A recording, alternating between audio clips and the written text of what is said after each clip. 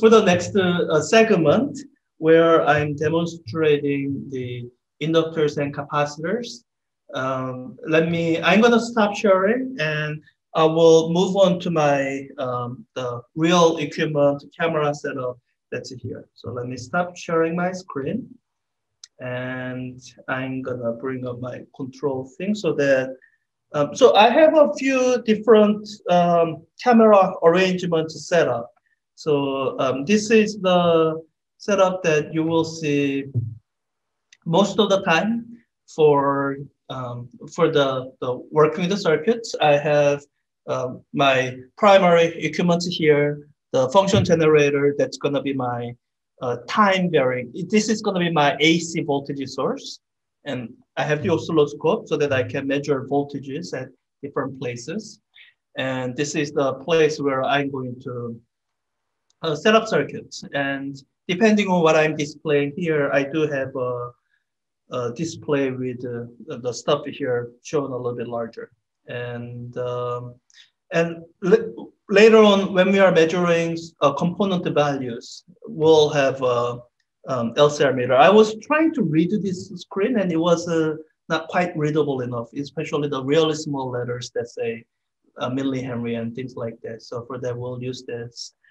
Um, and there's one more part that's not quite on video, um, which is I do have uh, so uh, maybe I can just point to it here. uh, I, I am able to, uh, this overhead camera that I have, um, it doesn't move and uh, with it moving, I can set it up in such a way so that you see these, um, um, these uh, tower of components.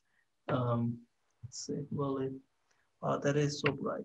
Um, and yeah, those letters read upside down because I had to invert the video. Um, so, so I have components that are, um, so I have all the resistor values that I'll need. That's the, that's the stuff. I'm trying to rotate this and it won't quite cooperate. Okay, uh, so I have all the resistor values that I'll need. That's the stuff here. And um, the selection for capacitors and inductors is a little bit less, but I do have uh, some selection of capacitors here. Um, I'll show you some of them. I think that's what I want you to demonstrate um, on camera. And I do have a set of inductors. And inductors, I don't, you know, they must sell them, but I've never actually bought inductors. I've only ever um, made my own inductors. So let me autofocus. I've only ever made my own inductors. So I'll um, talk, talk a little bit about these inductors. So, so uh, I guess uh, what I'm showing now is that, you know, I have this tower of components there. That's where I'll be pulling stuff from. And, um, but most of the time I won't be showing you the tower because it's a, really a big hassle to change this camera arrangement. So most of the time I'll just be, um, I'll, so, you know, when, when you hear the uh, noise of me pulling drawers and whatnot, I'm pulling them from here and I'll put it on this uh, overhead camera thing so that you can see it here. Uh, focus. Let me just uh, brighten it a little bit. So I guess uh, maybe let me start out with the capacitors. That's the thing that we kind of just skipped over um, or we didn't spend a lot of time with when we did the capacitors. And um, capacitors, capacitors come in very, a few different types. So I'm pulling a few drawers here. This is a, yeah, it, autofocus gonna be a, so this is uh, capacitors that are in a smaller range, about 100 picofarad range or 0.1 nanofarad range. And let me pull something from about, um, I guess, a few nanofarad range. So here's the capacitor um, that's labeled to at uh, yeah, 0.02 microfarad or about 20 nanofarads. And most of the really large capacitors are these um, electrolytic capacitors. So these are capacitors on the, uh, oops, it would be upside down. Uh, try to autofocus. So this is a, you know, uh, tens of hundreds of microfarad, and these are the, these are the electrolytic capacitors. So they, they come in different shapes. Uh, there's a different chemistry and physics at play. Uh, and I think I have one more that, uh, ah, um, I'm looking for, I guess, is this the one? There are uh, ceramic capacitors. I guess maybe this one. Um, I think uh, my favorite kind used to be, well, I guess it still is this one. So this is one more type of capacitor. Um, so it's uh, on the order of about one microfarad range, and um, they get one microfarad or so out of capacitors that are about that big. Um, I think this is a ceramic capacitor. Um, some of these other ones might also be ceramic capacitor. So, so th these are some examples of capacitors. They uh, come in a wide variety and I, I guess uh, when you're building circuitry that um, at the kind of first level, what you really care about is that um, that uh, the capacitance value. That that's a um, that's really the main thing you care about. And what I would tell you that you should watch out for when you are looking at capacitors are really two things. Uh, one is a rated voltage. Some of the capacitors will say on them, uh, not this one apparently. Let's see, um, see if I can find one that actually lists it. Um, they might not, uh, in which case, ah, okay, this one does. So let me see if I can show this one. Uh,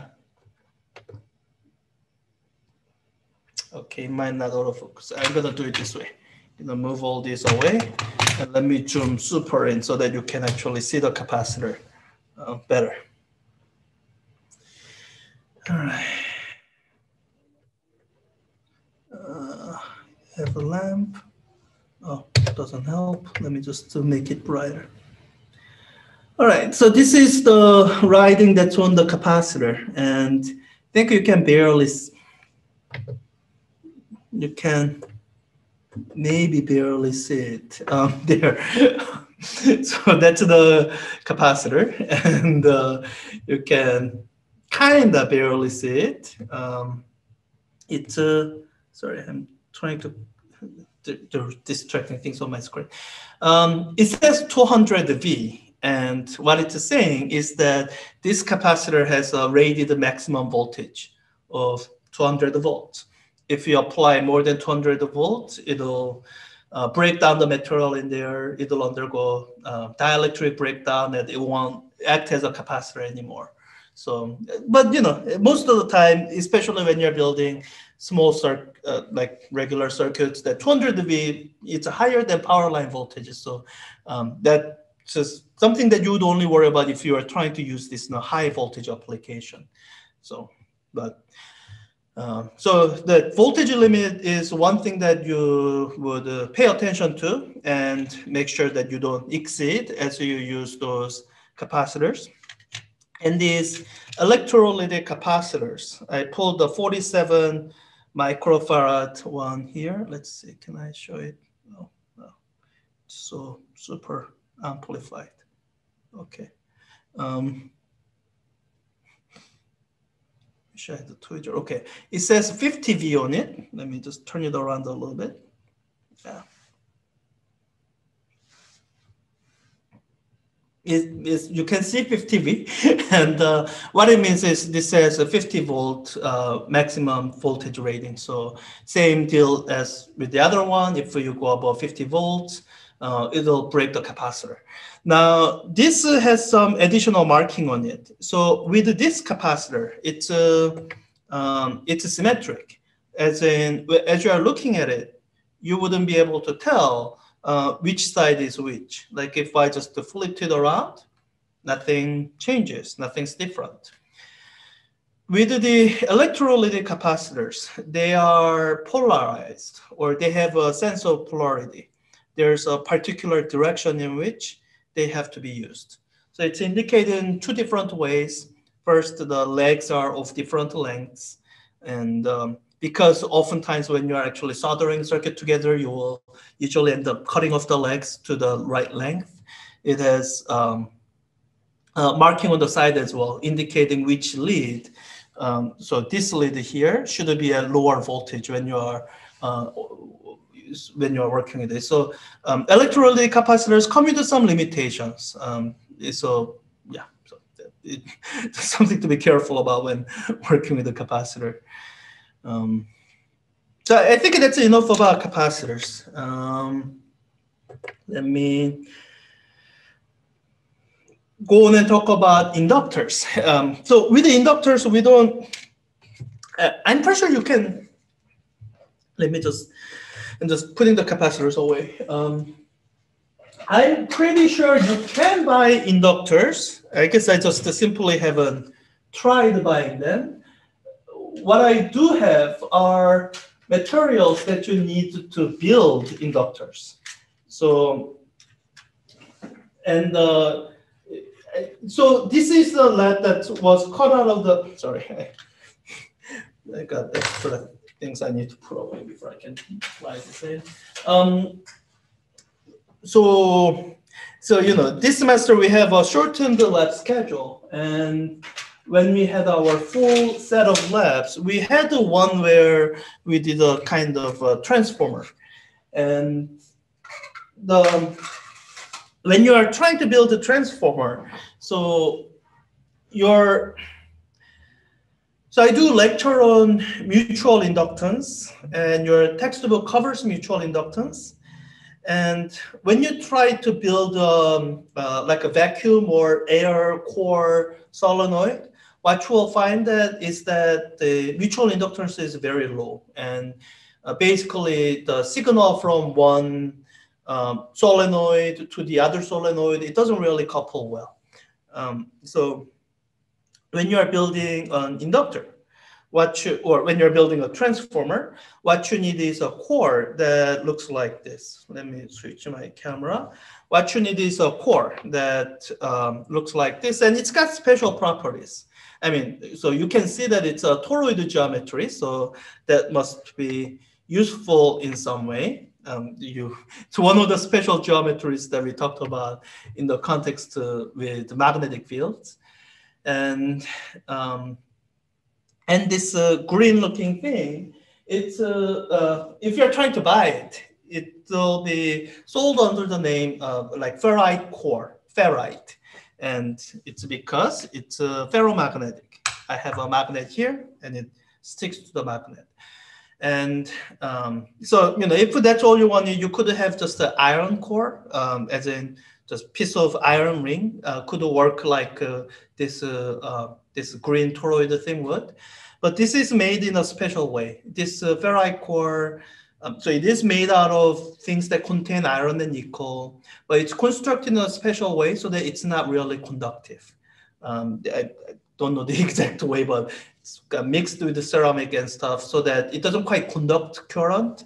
And what that does is it makes it more efficient because if you have a, just a pure iron core, the magnetic field in the iron will induce current that will induce eddy current and um, that eddy current will dissipate energy. So uh, sometimes that's what you want, but in most times when you're building transformers and inductors that you will see me measure, that really isn't what you want because if uh, um, if the, the ferro uh, iron core of your inductor can dissipate energy, then um, ideal inductors are not supposed to dissipate energy. So, um, so these ferrite cores, uh, I got them so that we can make transformers and or transformer models and inductors. And the uh, main thing that I've made with these that you will see and we will use today are inductors. I have a few that I saved from previous semesters. I have one. Uh, this is probably the one with the highest uh, inductance. I want you to see what's the highest uh, uh um, value of inductance I could get for physics 4B labs. So, we'll use this one for one of the labs. And let me actually pick out a few now. Um, so, and I can kind of just uh, tell by the number of windings which ones will have more or less inductance, just qualitatively. I, I hope you um, get that from what we covered uh, last week. So, uh, fewer, so same toroid geometry, but a smaller number of windings will uh, well, well, smaller magnetic field inside the toroid and it'll lead to less inductance. Uh, let me try to get something in between. Uh, do I have anything that's smaller? I think this one might be a little bit smaller. Um, and I guess something in between would be this one. So let me have these four inductors set aside and just because of the way um, these things work, those will be the only four values that will be limited to, um, even though it'll be. Um, so yeah, so so that's uh, uh, these are the physical objects that are um, that are capacitors that you saw earlier and inductors that you are seeing now. So so I think that um, kind of covers what I had to cover in the sense of um, in the sense of showing you what inductors are. Uh, let me see here. Yeah, demonstrating inductors and capacitors. Yeah, so it, you just saw, that's what they look like. and uh, um, yeah, and you'll see me use them for the rest of this lab.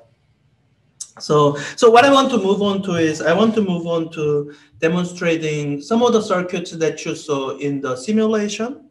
And uh, so I have this uh, uh, simulation thing brought up so that I can show. Um, let's see, how do I want to do this? Um, I think, sorry, I didn't quite think this through. I think what I actually want to do is I want to use my virtual camera to um, um, show the simulation. So let me actually set that up now. Um, let's see. Um, I'll just uh, um, add a, add a window capture and uh, also code simulation. I guess you can type in the, uh, I mean, you can't see the windows where I'm typing stuff in, but you'll, well, you'll see the uh, oscilloscope simulation thing quickly enough. Uh, I guess I wanted to capture cursor. Okay, so that's what you see. Let me just make it a little bit smaller so that it doesn't take up the whole space. Uh, well, I mean, ah, it's okay if it takes up the whole space. Just want to copy it a little bit and uh, let me put it into the one with the overhead camera. Um, and, and, I'll figure out if I want to put it elsewhere too. So, so uh, this is what I was uh, playing with last time. And um, and uh, what I want to kind of confirm or um, show th this time is I want to uh, make sure that the results we got with the simulation, they, um, they work in real life. Because the thing about simulation always is um, maybe it's not programmed right. Maybe it's got bugs in it and it's very possible for um, what you see in the simulation not to be the uh, realistic thing. So, so I want to just uh, uh, do a, a, spot check. So I think last time we did the capacitor circuit, and we also did the diode, but I don't have any diodes ready, so I can't do that. So let me set up how I remember setting this up last time. I think uh, I used this to demonstrate. Um, uh, I, I used this to demonstrate a time-dependent circuit. So let me do what I did. Uh, last time. Um, let's see here. Um, So I'm gonna do it this way. I'm gonna do, so right now actually with my, uh, let me just copy this over to the other screen and um, let's see, I think this is the view I want. So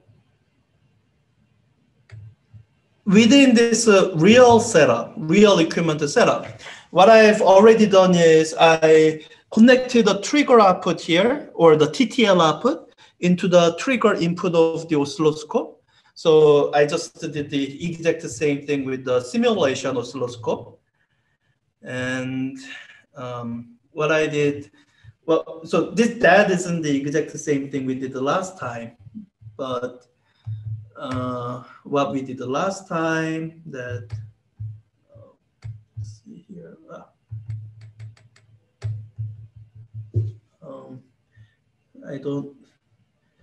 Do I need to go get a mouse? Um, I'm trying to control this with my uh, touchpad, and it's a little bit harder. Okay, so I'm just gonna click it a few times to get to the right place. So let me um, put an output from here into the input and put it on DC oh, and actually have some kind of an output that'll show enough of a signal. Uh, I need to go to long enough a time scale to, okay. Maybe I'll go a little bit faster here. Um, yeah, so I think this is close to what I demonstrated last time. Let me just uh, put the signal from the oscilloscope into the circuit. And I'm going to measure the voltage across the capacitor. And, and I did other things too last time, but um, with uh, the, this uh, redo of the simulation, we'll leave this here for now. Okay. okay, oscilloscope settings are complex and there are a lot of things that can go wrong. I should have put it on dual. Okay. All right. Um, yeah, so I think right now I'm a little bit, let's see. Um, so I have different options. I could either uh, have a, a you know, uh, actually, yeah, let me go, uh, let me make this uh, faster because I think that's gonna make a bunch of things easier. So, okay, um, and, and uh, instead of making it go even faster, I'm going to increase the capacitance value by a factor of 10. Okay, so that's, uh, uh, that's what you saw last time. So, so with that in mind, uh, I will build the real circuit that uh, that matches the circuit here and and see if we can get the same thing in the uh, with the real thing. So let me let's see. I think while I'm building the circuit, it's probably better to be in this view. So um, so so let me build a circuit here. I have uh, the usual breadboard. So this is the thing you saw me use to in order to, to build the circuits. And um, wow, those are so, don't know if I want to use the same component values, but uh, let me give that a try and then I'll deviate later because our over 100 um, seems too low to me, but it's fine. Uh, I'll at least start there. So I have uh, what is it comes from a 100 ohm box. So um, I, I could trust it to be 100 ohm. but what I'm to do is to be on the safe side, uh, let me let me uh, copy over the uh, sorry not copy. Let, let me uh, let me measure it just to be sure so i am copying over the um, the the screen thing for the uh, lcr meter and see here. Um, and, uh, and I'll measure it. So you can't see the meter off on the side, uh, but uh, it's there. Let me just move this thing over so that they are not so overlapping each other so much. And uh, let me just put this on the right mode to measure resistance. Oops. Okay. I mean, it also, uh, anyways, uh, I'll show the other stuff when I'm measuring inductance. So this came out of 100 ohm box, and it probably is 100 ohm. I just want to be sure. And yeah, it's close enough to 100 ohm. And this time I'm not going to be measuring precise component values because um, precision isn't, I, am not trying to get to the level of precision that we got um, that we got last time with the DC circuit analysis. So I need, uh, so I have a resistor.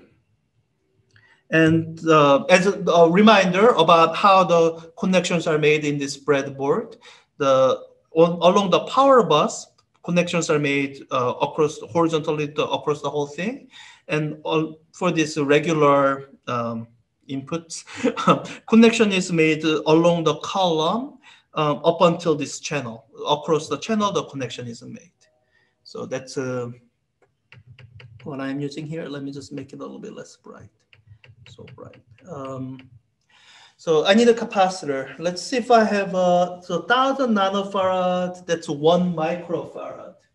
Um, I have well, I have a 0.47 microfarad. I think that's the closest I can find uh, I have 0.47 and then point, uh,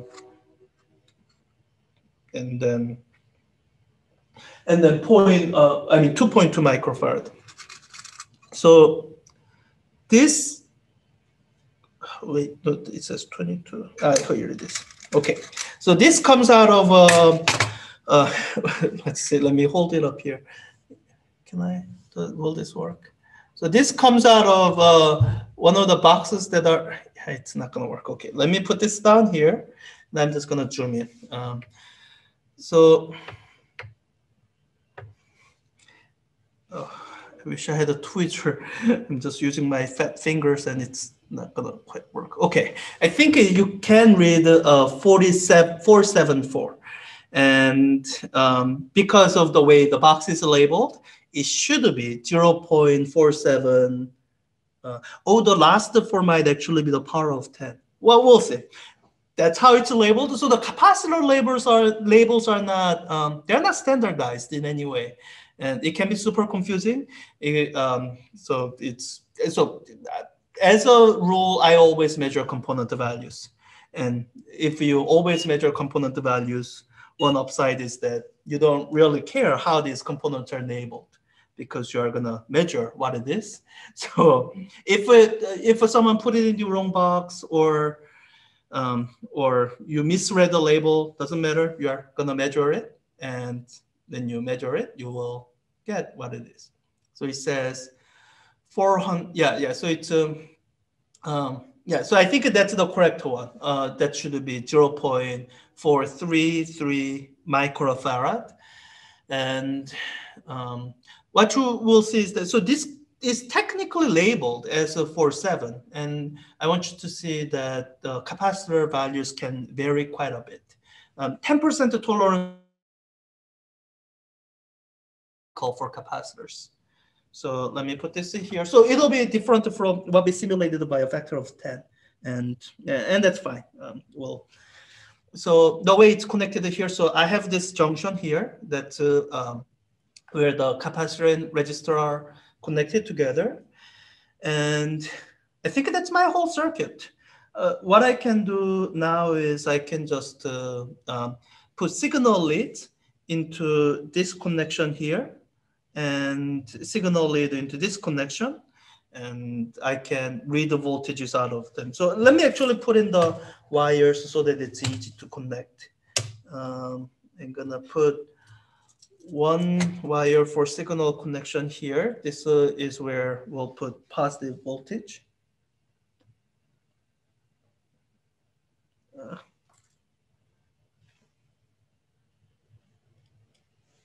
and um, let me put in gray wire to the place where we will put in the negative voltage. And I'm not really trying to color code it, just make it look a little bit different Okay, let me zoom out here. Um, so, so that's my circuit.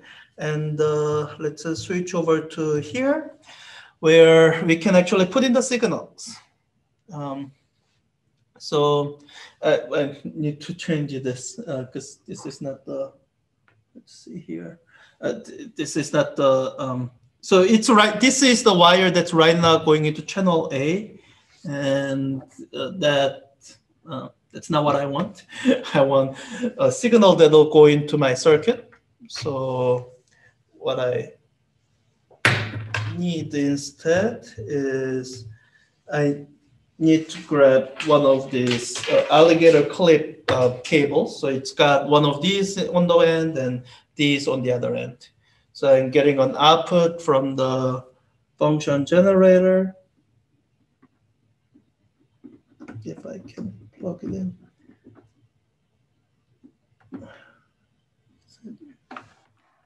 I didn't quite feel it click. Oh.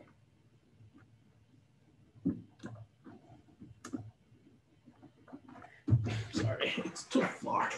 Can't. All right.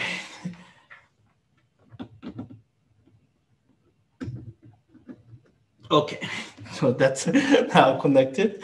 And let me um, put this lid here.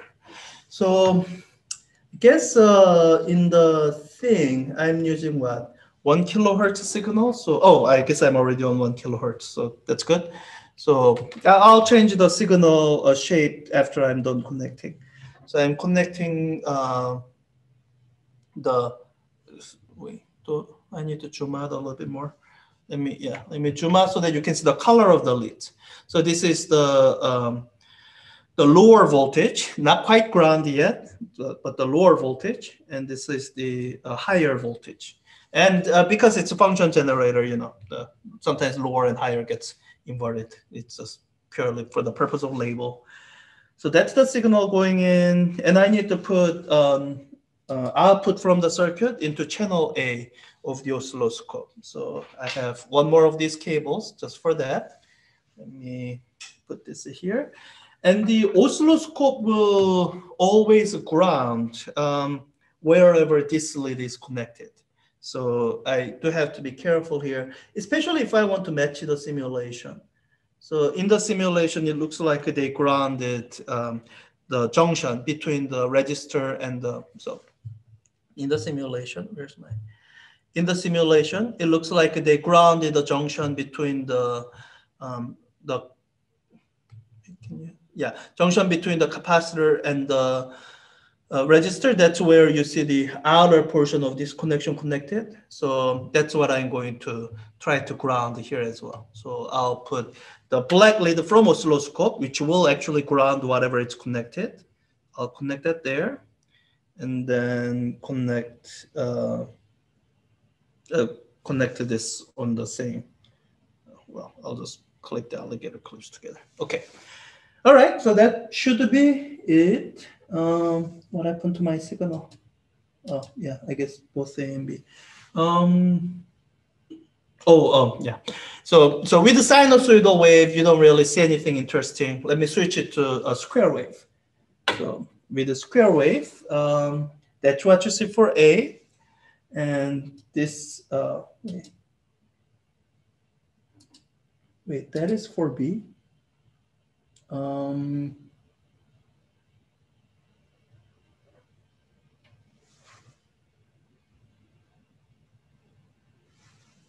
mm, um, let me just zoom in a little bit on the time scale. Mm, well, that is interesting. Um, so I'm looking at the B signal right now, and it should be square wave, and it's not. Let me just uh, try to see if I can figure out what's wrong with it. It's possible that it's not even, oh, no. Mm, it's possible my function generator is grounded the function generator. If it is, that's, uh, oh yeah. All right.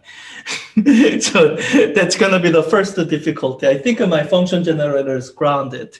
So um, so so when I connected this uh, uh, ground lead to here, what I've done is basically short across the resistor.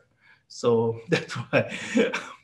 okay, so uh, some things I can't quite do the, exactly the same way as it's done in the simulation. So what I'll need to do is if I want to, so uh, uh, so if I want to measure the actual uh, voltage across the capacitor, then I'll have to reconfigure my circuit so that the ground lead is on one side of the capacitor because the grounds will always be connected, whether they're explicitly connected in the circuit or not. And I'll just connect it here as a reminder that ground is connected.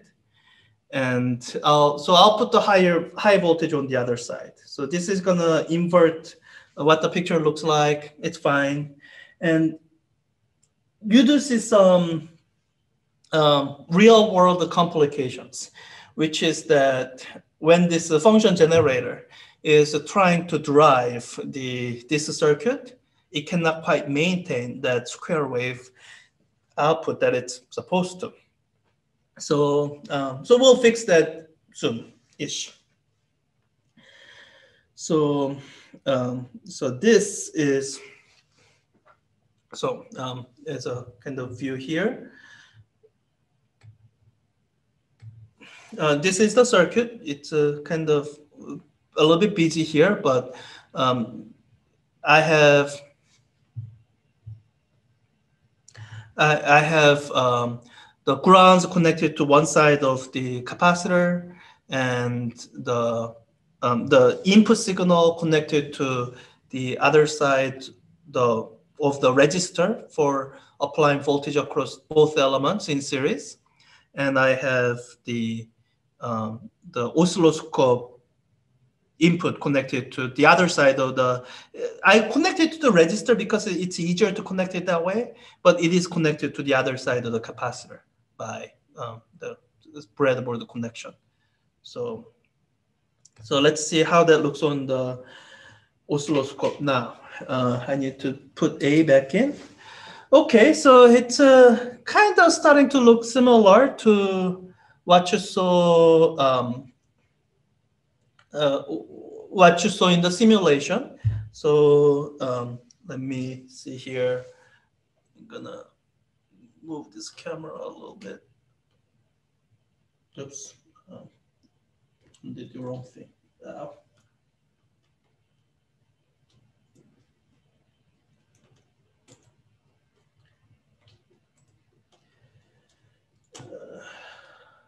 let's see. Okay. So that's the signal from the real circuit. And um, in the in the simulation, it's uh, so you, you see the um, the the capacitor charging, and there are some corrections that I do have to make. Uh, one of them is that we are using a different value of capacitance. Our capacitance is smaller by a factor of two. So I can make the correction in two different ways. I can make it either by using a slower frequency, then I think everything will kind of scale.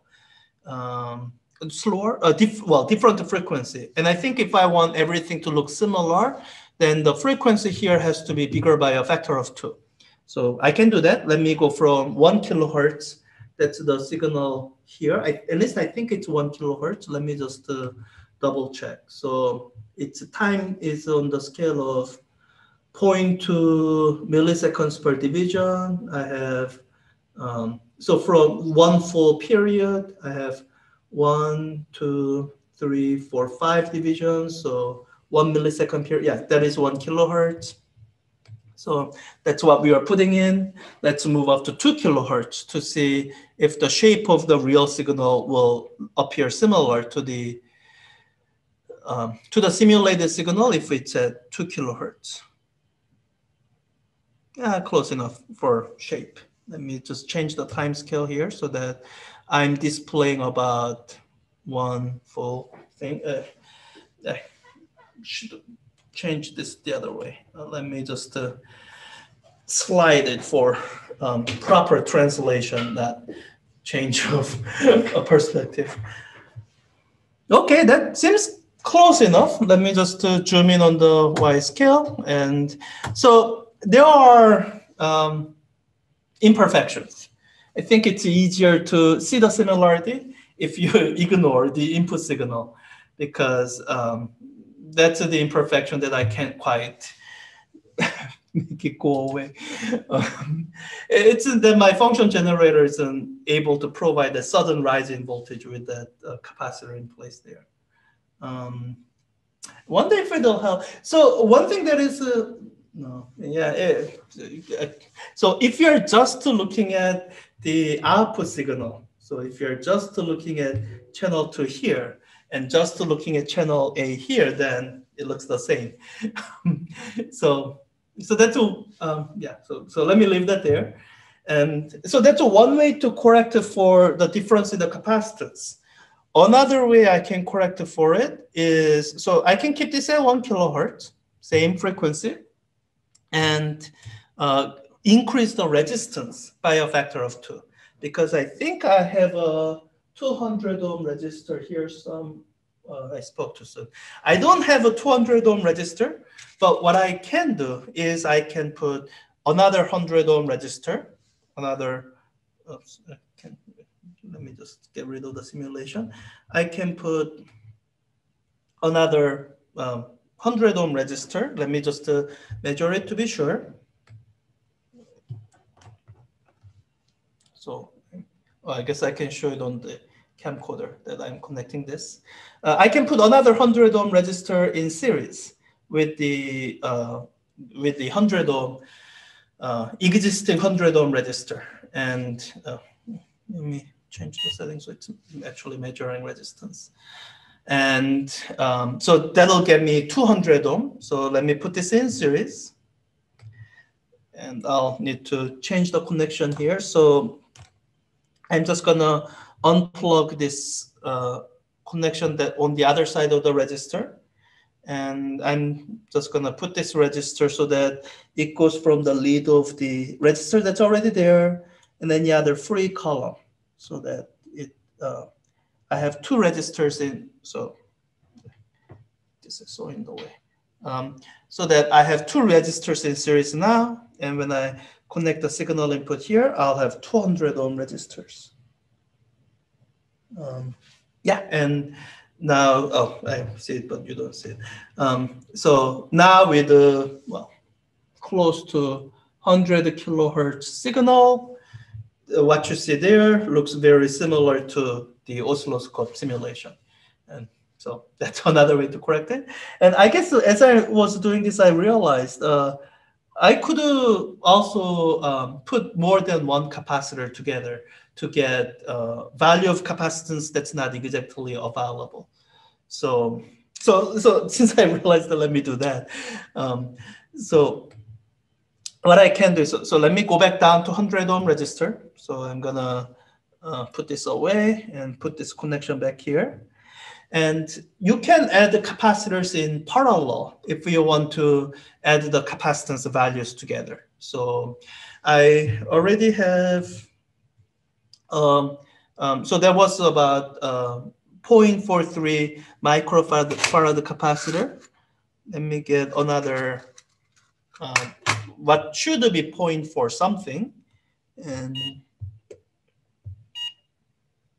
measure it to be sure. So it'll come a little bit shorter than uh, microfarad uh, when they're added together. So this is um, Oh, sorry, they touched. They, the leads shouldn't touch. Um, so, okay, so added together, they'll add up to something like 830 uh, nanofarad or, yeah, so about 20% sure, but it'll be close enough. So this capacitor, I want to put it in, um, I want to put it in parallel with the existing capacitor. So I think what I can do is I can put it here. So one end of the connection will be at the same uh, junction with the resistor. I think, hope you can see that. and the other end. Uh, you can't quite see, but you'll have to trust me that I'm putting in the right spot. Uh. Um, so they are they, they appear kind of parallel and they are electrically parallel. So with that, let's see. Yeah, and uh, and uh, this is the signal you see. So compare it to the simulation. At least if you ignore the input, then it looks quite similar. And um, you can, yeah, yeah, I, I, guess I'll leave that there. Uh, I want to show other circuits in the time that we have. Uh, you know, it is possible to get into um, kind of study or discussion of the so the what causes these imperfections in the input because when you are looking at it um, so when I remove this capacitor here the second capacitor you will see that that input gets a lot better it becomes more square-ish and in fact if I'm guessing right I think uh, they looked better when we had 200 ohm resistance instead of 100 ohm. So let me remove this here and then put back on the other 100 ohm and get 200 ohm resistor here. Then if you try to remember what it looked like before, then this actually looks better than uh, what it was before. So, so you know, when you are working with the circuits, there are these details that sometimes just pop up as you're working with it. Um, let me leave that there. Um, the other, the other thing I wanted to uh, demonstrate that you saw in simulation was um, was the, the ringing circuit. So let me uh, reset that up in the simulation and uh, and um, and we'll try to do that ringing circuit with the real thing again. So that was with the resonant circuit because you need both the inductor and capacitor to do that. And uh, yeah, I, I, guess I'll just have to set everything. Um, so trigger to trig. Um, and if I forget anything, I'll it'll come up because it'll uh, something won't work and I'll eventually figure out, oh, that's why it's not working because I forgot something. Uh, let's see, trigger there, um, position somewhere there. Um,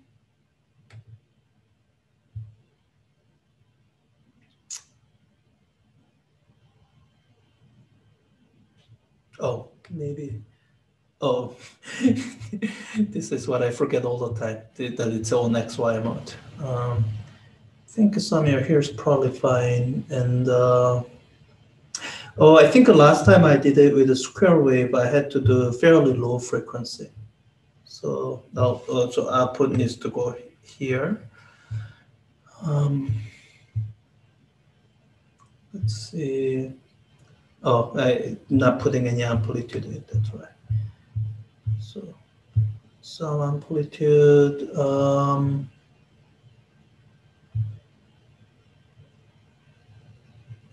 Let's see. Oh, it's on ground. That's also why. Okay.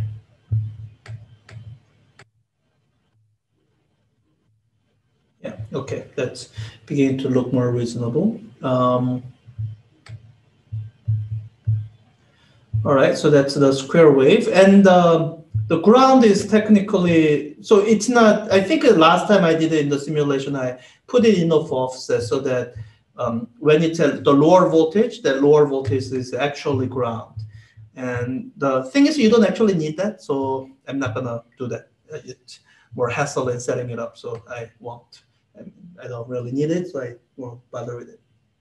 So I need to put that signal into this, and um, I guess I'm, you know, inductance, I'm gonna leave it at 10 millihenry because that's around the range of the value of inductance I have. 50, 100 millihenry. I don't have those, so I'm not gonna go up to those. Um, I'll mess with the capacitance and the resistance if I have to. So I guess um, I want to measure voltage across the resistor. That's going to give me something that uh, um, something that uh, uh, a representation of the current that's going through the circuit. Wait, is that what I want? Yeah, I, I think that's fine. It'll be enough to show ringing. Um, so let's see here. Oh, I need to bring up the position. And this needs to be on DC. Yeah. Okay, so I it's enough that I can see the ringing. And I guess I want it on a actually a bit of a faster time scale because it's dying down rather quickly. Um, so let's see here, one kilohertz, is that too fast? Too fast. Um, so I'll try to go up to maybe 500 hertz instead of uh, one kilohertz. I think this is on too small a scale. Let me put it uh, around there seems right. So I need to do the fine frequency adjustment to, and so I'll measure the frequency using the oscilloscope since it doesn't actually tell me what the, um, okay, something like this. Uh, let me just do, do slightly lower frequency. So, uh, let me do eight divisions so that it's nice and even. Um, one, two, three, four. Yeah, about eight divisions. And that's a 0.5 millisecond per division. So it's a four, um, four millisecond for the period. So that should be 250 hertz or so. So, so that's the ringing signal uh, that you get with the um, with with the RLC circuit, and uh, uh, now we'll try to build that and see if we get the same ringing thing, or well, we'll yeah yeah. Well, let me just leave that there. So I need to first to collect the components. I need so let me um, go to this overhead view where I can show you the stuff most easily. Um, I believe, so, you know, I have these four inductors. Um, and uh, my memory is that, you know what, I actually don't remember. Let, but let me start out with this inductor. I think it has a pretty good chance of uh, uh, being something close to 10 millihenry. Let me measure it and see if it's uh, anywhere near 10 millihenry. Um, so me just move that a little bit all to the side.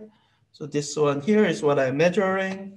Uh, I need to put this on the correct mode for inductor measurement.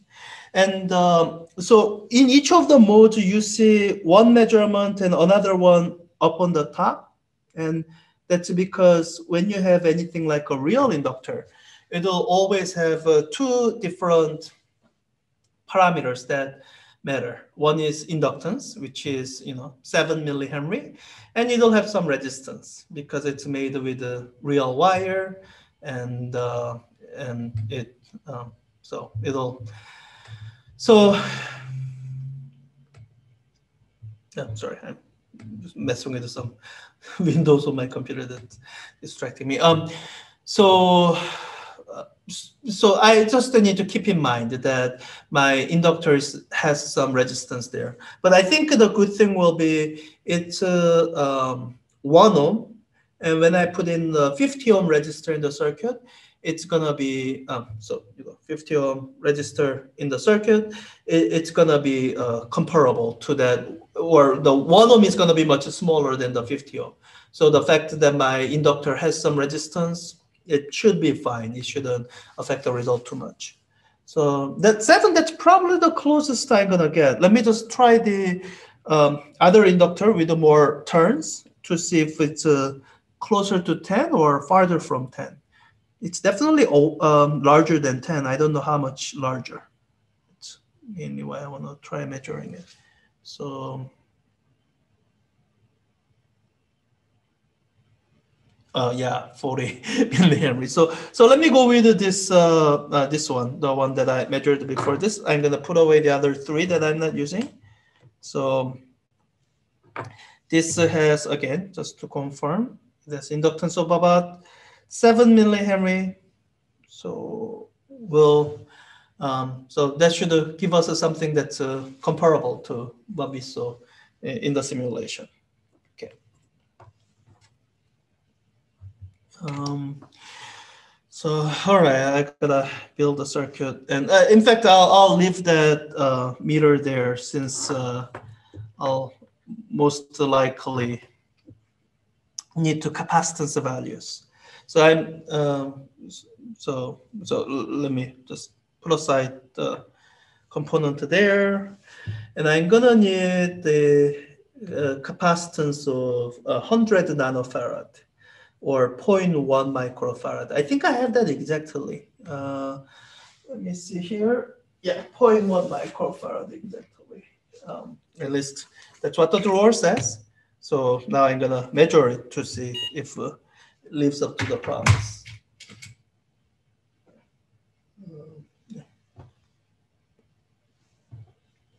So, so um,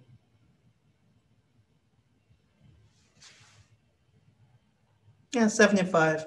It concerns me a little that they're both on the lower side. Let me try to uh, go through a few until I find the one that's closer to one, Because uh, I think the, the differences between those two, they are probably going to add up to be like a 50% error. And I'd like to kind of average it out. Um,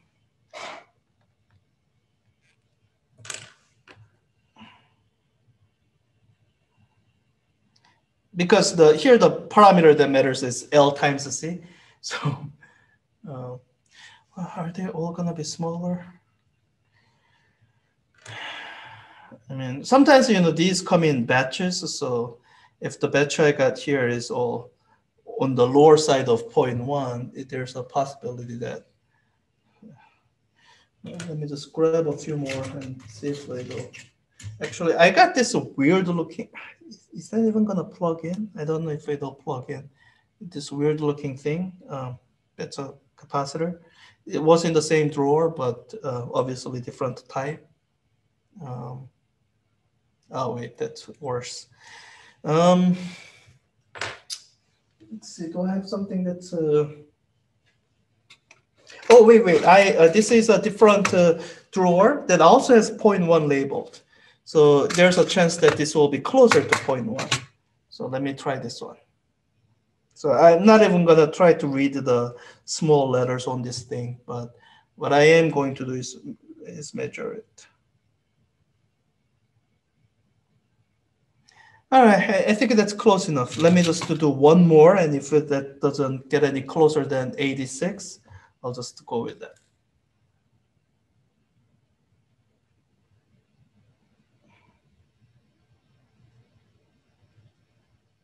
Yeah, 89. Okay, that's close enough. So this is the capacitor I'm going to use. And I need a 50 ohm resistance um, resistor. So let's see here. I got 56 ohm here, which, oops, uh, I'm not going to use the big resistor. They probably won't even fit. Um, let me try to get at the smaller one.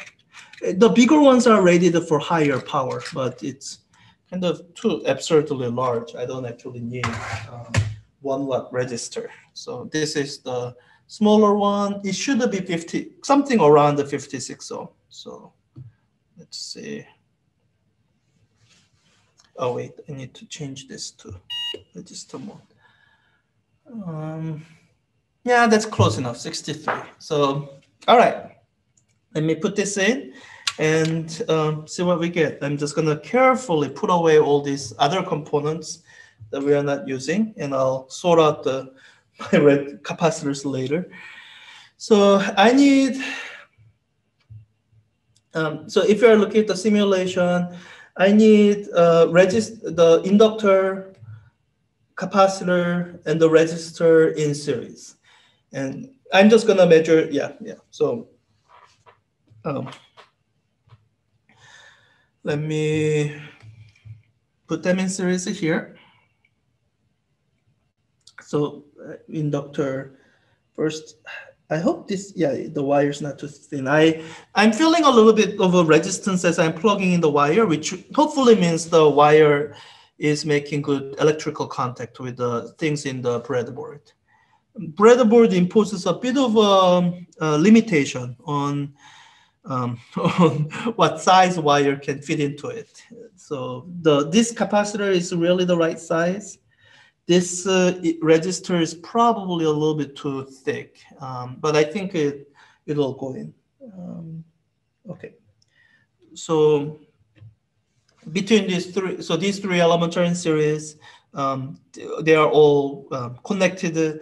Uh, they have a you know junction between capacitor, capacitor and resistor, junction between uh, inductor and capacitor, and no other connection anywhere. So uh, when I put in the signal, I want the ground to be on the side of the resistor so that I can measure the voltage across the resistor. and I want the the signal lead to go on the other side of the inductor so that the whole the signal when I apply it, it goes uh, over the whole um, whole series circuit. So let's see here. Yeah, let me move this back so that you can see the settings on the oscilloscope as I change some of them. Um, yeah, so, well, here's my signal wire. This is the one from the um, from the function generator there. I'm putting it across the, the whole circuit with the ground lead next to the resistor.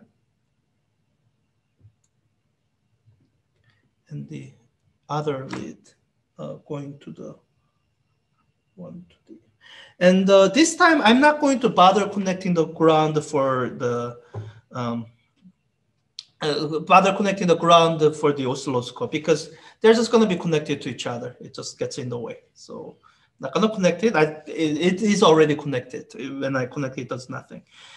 And uh, the positive lead goes uh, on the other side of the resistor. All right, that kind of does it. Um, so I should run the signal at 250 hertz. That's what the other one was is at. So it should go somewhere around 250 hertz. Uh, yeah, something like that. I guess it's uh, a little bit disappointing. um, let's see here. Uh, yeah, I guess. Was that really 250 hertz? All right, uh, let's see how they compare. Uh, by the way, so I'm gonna turn off the input signal because that's where you see a lot of uh, imperfection that not that we can do anything about. So I just turned it off so that you don't see it at all. Because um, it, and So, um, so that's what it looks like. It, um, I, so you know there are places where it falls a little bit short. As in, I guess if you are, you can count maybe um, um, number of oscillations that you are able to see. And when you look at that, let me just move this over here. So before signal dies down completely on this real or you know dies down small enough, you count one, two, three, four, five, maybe six bumps, um, counting both the, the the peaks and valleys. And uh, on the um, oh, I guess on the downside of this part, I said one, two, three, four, five, six. Oh, maybe it's pretty close. Yeah. And I, and I think the, a lot of the difference can be explained by the differences in resistance. In fact, if I increase the resistance here, you can see that it um, the amount of bumps you can have before it dies down um, does go down. So, so yeah, the we got the ringing circuit with the um, we got the ringing circuit with uh, the uh, real circuit as well as with the uh, with the, the ringing circuit similar to the simulation with the real circuit. Um, I want to make this a little bit better. Uh, one way to, let's see, can I do this? Um, so I think if I measure voltage across the inductor, so the inductor already has something like, uh, it already has something like a, a, a one, two ohm resistance. So well, I guess with that, the fact that it has resistance itself doesn't matter. Um, well, this is what I want to try. um, so I think uh, let me uh, set up the simulation this way so that we have something comparable. So in the simulation, uh, it's no trouble. I can simply measure the, uh, the voltage across the capacitor. So now when you do that, you do have to be mindful that um, the offset will change with the voltage. So, you know, you have to look for that offset change. And with the real circuit, what I want to do is I want to um, I want to get rid of the resistor entirely. So even if I don't include the resistor in here at all, it's still gonna be technically an RLC circuit. There is a resistance in the inductor. Uh, the only difference is that it's now a significant resistance, significant resistance of about one ohm. But one ohm is a lot smaller than the 50 ohm that we had to put in earlier. So we are going to get different behavior. And let's see what that looks like. So, um, so I'm applying it this way. And let me measure the voltage on the other side of the capacitor just need a lead because that leg isn't quite long enough for me to grab onto. So put this here, connect it on the other side. Again, the ground lead doesn't really need to be connected. Okay, so let's see what that looks like. That's what it looks like. It um, oscillates for quite a bit longer and or let me turn off the input channel so that, oh, wait. Uh, yeah, so input, no input. So that's the output uh, channel. It uh, oscillates quite a bit longer. That um, So I see one, two, three, four, five, six, seven, eight, nine, 10, maybe 11 bumps. So um, yeah, I, I guess what I'm demonstrating here is that um, if you look at the ringing as um, something having to do with energy dissipation, then what you're seeing here is that the, the in this series RLC circuit, the resistor here dissipates away energy. So that's why in the simulation, you see that when I increase the resistance, that the ringing dies down more quickly. And you see that in real circuit too uh, when I get rid of the resistor entirely, although not 100% because the inductor has its own resistance, then you see the ringing last longer.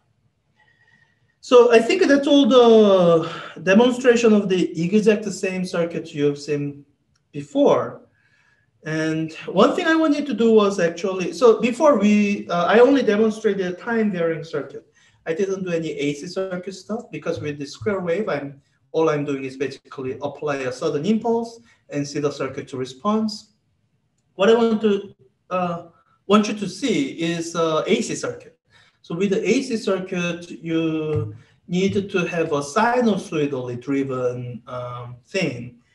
And let me see if I can demonstrate something here. Um, maybe I can do it with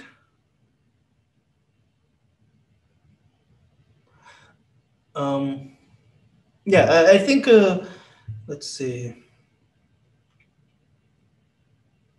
I, think uh, one thing I can demonstrate in simulation now and also in the circuit is this. So I can measure, so I'm still applying the same signal and all, and I'm gonna measure the voltage across the resistor. This way, what I measure will be a,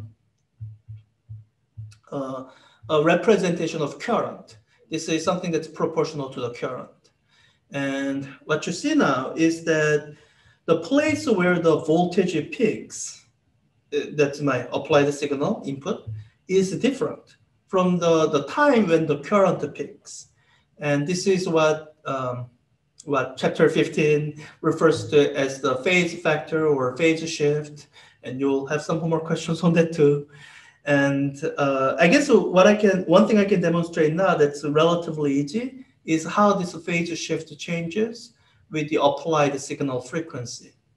And I don't quite, let's see, trying to remember.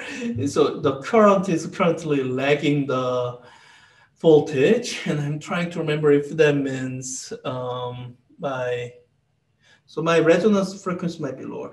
This is one of those things where you just gotta try. Let me just change the frequency. Uh, let's see. So when I go to higher frequency, yeah. Okay, so my current uh, uh, frequency that I'm at right now, 250 hertz, it's lower than what uh, what is the circuit to resonance frequency. So let me increase the frequency, and as I do that, you see the this uh, output voltage go up. Um, yeah, and in fact, I need to change the scale back so that I can actually show the signal. Um, let's see, do I need to? Oh, uh, okay, I need to change my frequency entirely. Uh, yeah, and I need to change this more. Okay. Um, yeah, so I think I passed the resonance there. So let me go to that. Okay. So, all right. So, yeah. So, so this is what uh, what's called the, the uh, RLC circuit resonance. The, the amount of current that's flowing through the circuit, it's frequency dependent. So right now I'm driving the circuit off resonance so there's some amount of current flowing through, not that much. And as I near the resonance, what you see is that the, the current flowing through the circuit uh, increases. And there's a point where it uh, reaches a maximum. And you should see, oh, I guess, um, uh, yeah, because the way this is connected, it's uh, inverted. So let me invert the channel so that it doesn't confuse me. Um, because this is what you should see. Um, so as it reaches resonance, so okay, so the phase shift that you saw was reverse the sign.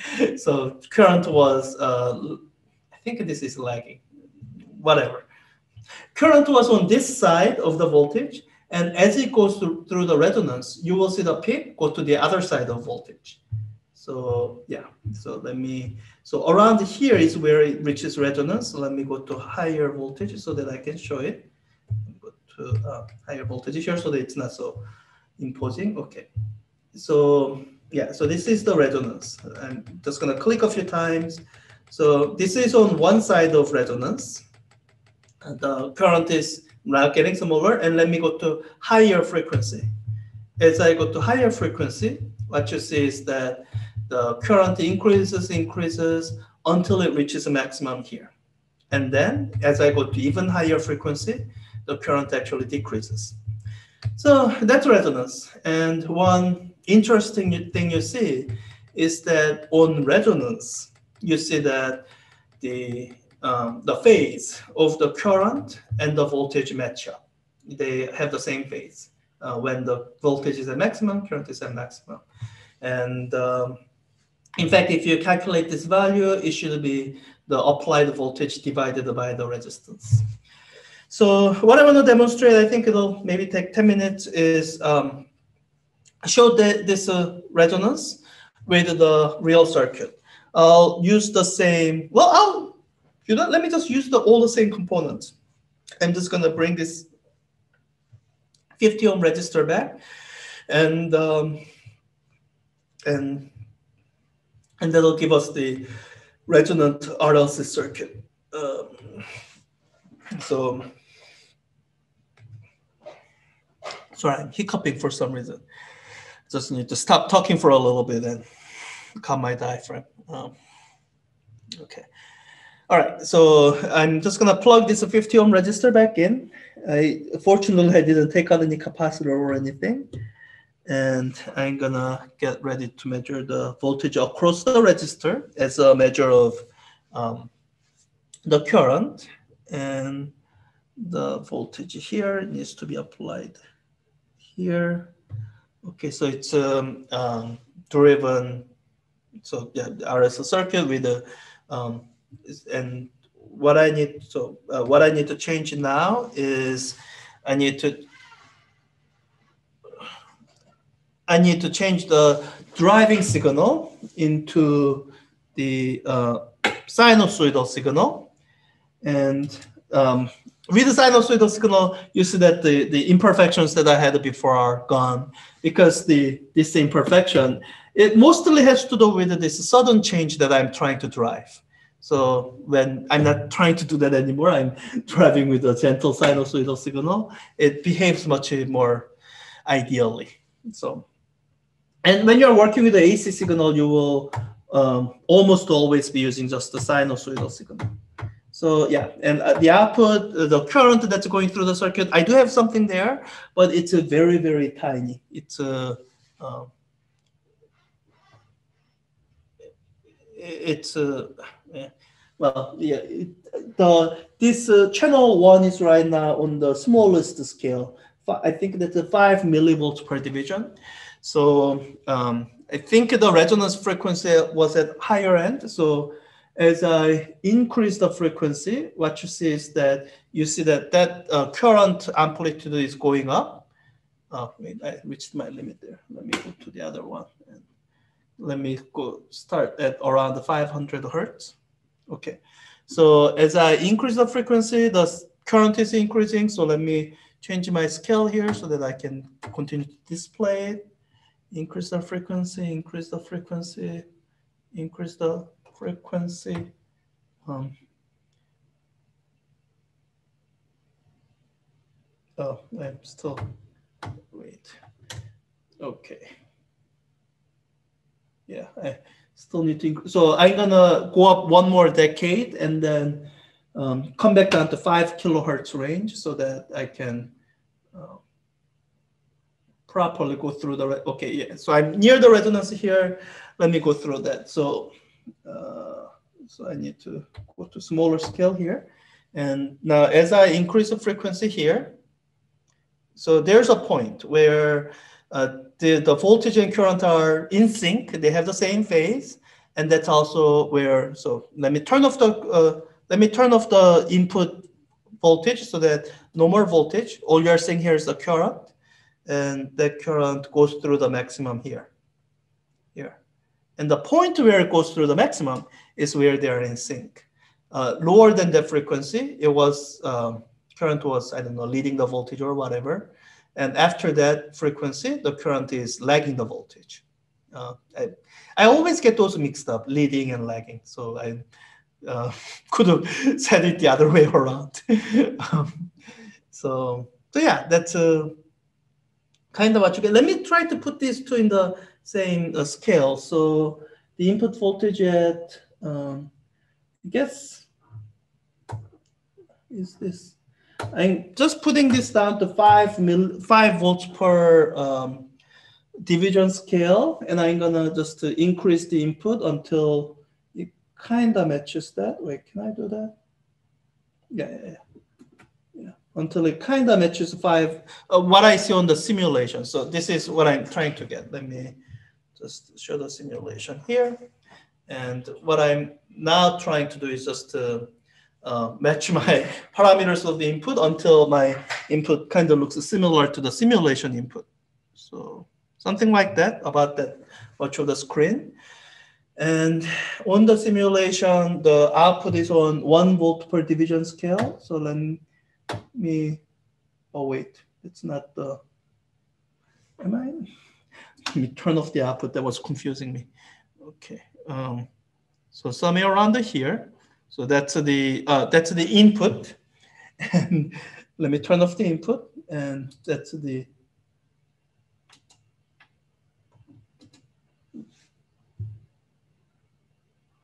um, yeah, got both of the signals.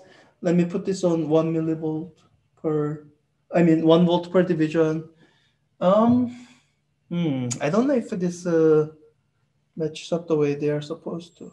Oh, um, that's too much. Uh, I think uh, the the this thing is struggling to drive a, so, such a high voltage through the thing. So let me do it this way. I'm gonna decrease it. Let me just put this on one volt per division so that I can put in a more reasonable amount of uh, volts. Um, so input is at one volt per division. This is showing something like a four volts peak to peak. And I'm gonna do something similar for the simulation. I'm just gonna, uh, so uh, one volt per division. Let me just uh, decrease the amplitude until it's about four volts peak to peak. Okay, and um, so dual, okay. So both input and output are at one volt per division and that's what's showing. Um, um, I don't know if that sounds right. Um, in any case, let me um, turn both of those these on, and they are both on one volt per division. And let me put this on resonance again. Oh, I guess that's right. Um, somehow I was expecting all of the applied voltage to be on resistor. Um,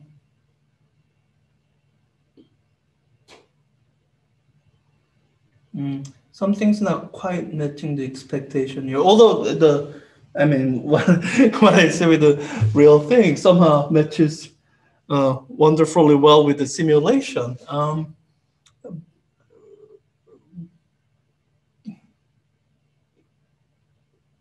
but um, what am I missing? Um, so on resonance, um, it should be that the impedance of the inductor and capacitor actually cancels out. So um, I, I, mean, that's why the maximum current is um, V in over R. What am I missing here? Um, see. Mm.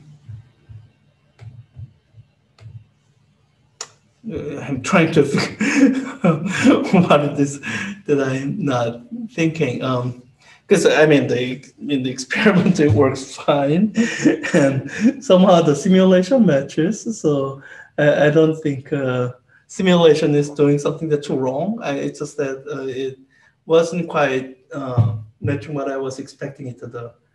Um, why is it different to biofilm?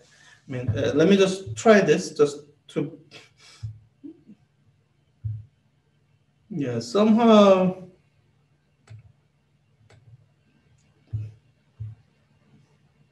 on resonance, the value of the resistance should have, oh, you know what? I think I know what it is. Um, this simulation, uh, which is wonderfully, it's simulating the uh, simulating the output impedance of the of the function generator. So uh, 50 ohm is the standard output impedance of uh, uh, a lot of instruments.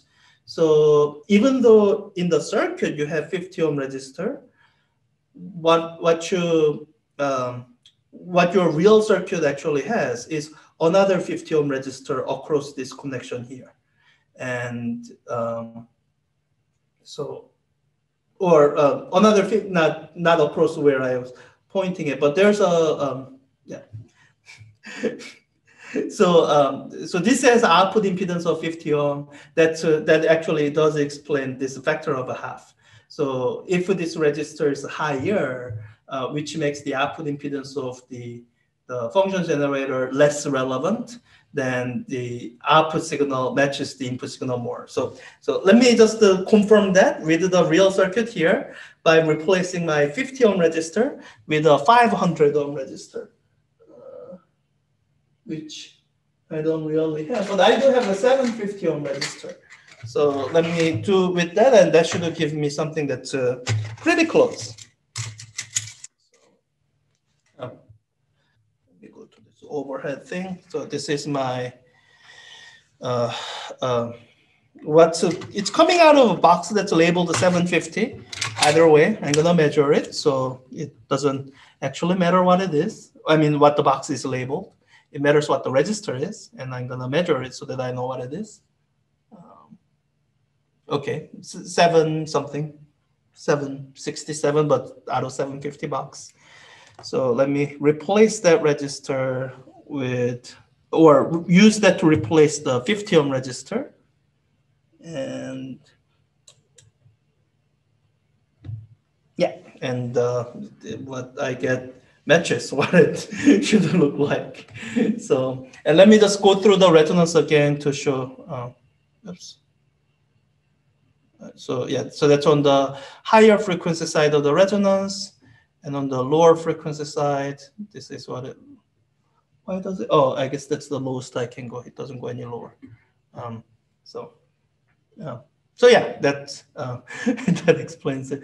So, um, so yeah, so, um, so even in the lecture, we haven't quite gotten to, uh, oops, um, we haven't quite gotten to the AC circuit yet. So uh, I um, but I think what I'm hoping you can do is um, you can at least uh, see some uh, aspect of AC circuit. And I think this simulation is pretty good for giving you that um, realistic experience for what that looks like because it um, simulates enough components of a real experiment.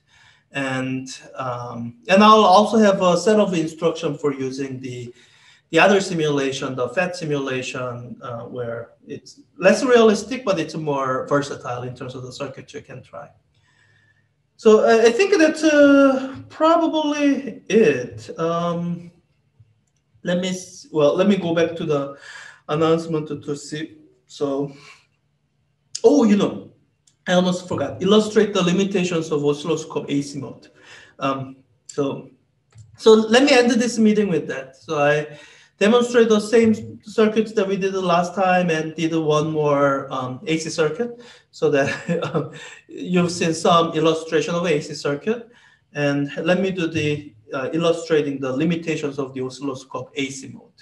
Um, so, so I was careful to use the, um, so let me get rid of the simulation. And this is actually the one thing the simulation doesn't simulate um, to my chagrin. Uh, so, um, so I've been careful to use only the DC mode, even when my so DC mode here, even when my uh, even when my signal is clearly AC, and there is a reason for that. It's uh, that the it's that the AC mode necessarily introduces a distortion of a sort. So I want to show, let's see here. So uh, for this demonstration, I don't really need a circuit. I'm just go, going to go directly from the function generator to the oscilloscope uh, in two different ways. So one of them will go to DC mode channel so that it just displays DC. And the other channel, so the, the or a copy of the signal will go to the AC mode input so that you can see the distortion that's introduced by AC mode. So I have that, that's a channel B showing right now. Let me uh, replace the connection here with just a copy of the same uh, input from the oscilloscope. So they should look identical. Uh, uh let, me, let me do it this way. I'm gonna um, oh, well, they should look identical. I'm gonna do it this way. I'm gonna use, uh, use the oscilloscope like a split screen. I'll, uh, well, let me first zoom into the oscilloscope a little bit more. Uh, I will, so, well, I'll just read off the frequency. Um, you'll just have to trust me that I, oops, I'm sorry. Yeah you'll just have to trust me that I'm reading off the correct frequency when I say um, the function generators are putting some kind of frequency. And what I want to use this oscilloscope as right now is um, I want to use the top half to display one thing and the bottom half to display another. I can do it this way. So I just grounded the channel B and I'm moving the position of channel B up so that it's centered around the you know first quarter. So that'll that top half will be showing me the channel B signal, and the bottom half will be showing me the channel one signal, and or channel A. So channel B, I will leave it on. Um, I guess I'll, I I'm leaving it on ground mode, and I'm going to. Oh, I think if I move this a little bit. Yeah, so channel A, the only one that you can see, I'll put move this to AC mode so that you can see the difference between AC mode and DC mode. And the way it's shown right now, you don't really see a difference. It looks the same. You know, as I change the frequency, those two don't re look really different. So you might, uh, right, uh, so you might think, okay, AC mode, DC mode, they are the same. I can use both. And AC mode is actually, um, in some ways, more convenient. Like you can imagine a signal introducing a, there being an offset to your signal. And when I, let me just turn on this offset. And when I introduce this offset, my channel B signal, it's uh, moving according to that offset. But channel A kind of stays centered. So there's a, uh, reasons to use AC mode sometimes. It can be more convenient that way. But what you need to be aware of are distortions that the AC mode can introduce. Um, it tends to happen at lower frequencies. So this is something that you do worry about when you're at lower frequency. So let me go, see, is that low enough? Maybe. Now you might think, hey, I, I'm at 50 hertz. That's pretty low, and I still don't see any distortions. Um, well, let me let me put in a signal that before was showing a lot more distortion. So right now I'm doing sinusoidal signal. Sinusoidal sines are nice for a lot of different things to handle. Let me switch this to square signal. So with the square signal, that's where you begin to see the distortion that AC mode introduces. Again, this is channel B, no distortion, just the square that's coming in. And this is channel A. Um, what I'm putting in is a square sign, square um, signal, and it's not, that's not what it's display. And if I go into even lower frequency, then I think I, I hope you begin to notice, uh, recognize the shape of the distorted the signal. So I was at 50 before. Right now I'm going, oh, I need to go lower. Okay, so let me put this as something around the 10 hertz. So right now the fun uh, function generator is reading exactly 10 hertz. And uh, this is the signal that you are seeing.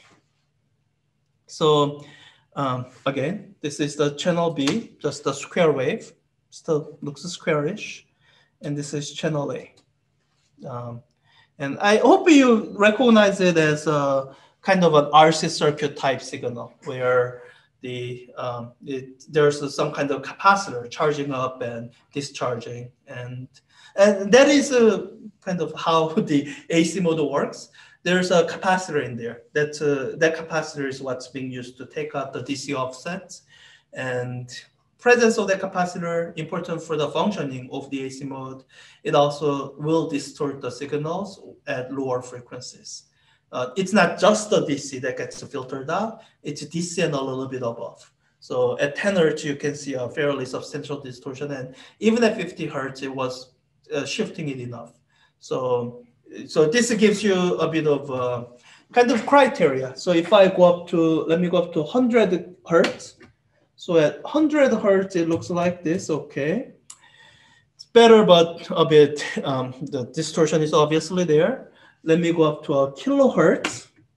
So at one kilohertz, then it's perfectly fine.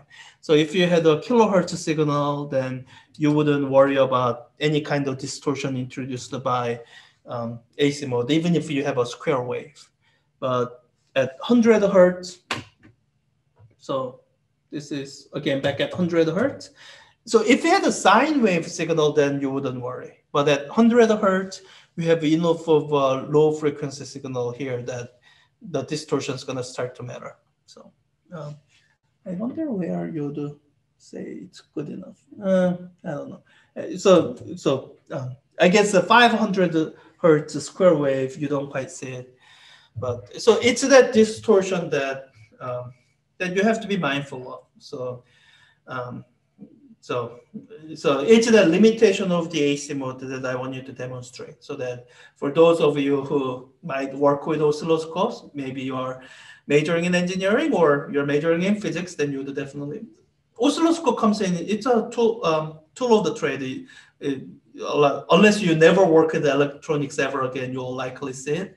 And I want to make sure that um, you see something that you would have seen in face-to-face lab. And this is the best way I can demonstrate it because even the simulation doesn't quite simulate this limitation of oscilloscope. It um, assumes that you have some magical AC mode that doesn't that that filters out the DC offset but doesn't introduce any of these distortions. So. Um, so I think that's uh, everything. Let me just uh, go back to the uh, shared screen to make sure that I didn't miss anything. And um, and I'll assuming I didn't miss anything, I'll end the session here.